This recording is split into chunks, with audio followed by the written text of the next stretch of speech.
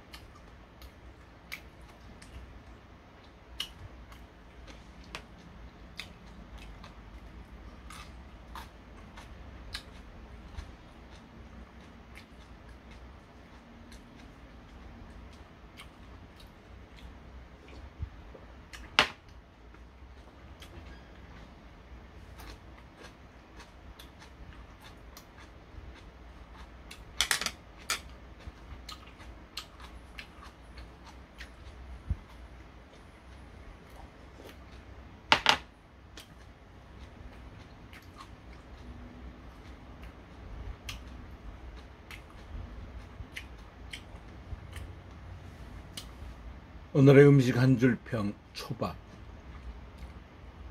개인적으로 정말 남바완이 아닌가 생각이 듭니다. 아, 모든 걸 떠나서 그냥 맛있으면 1등이지 뭐. 와우, 황홀합니다.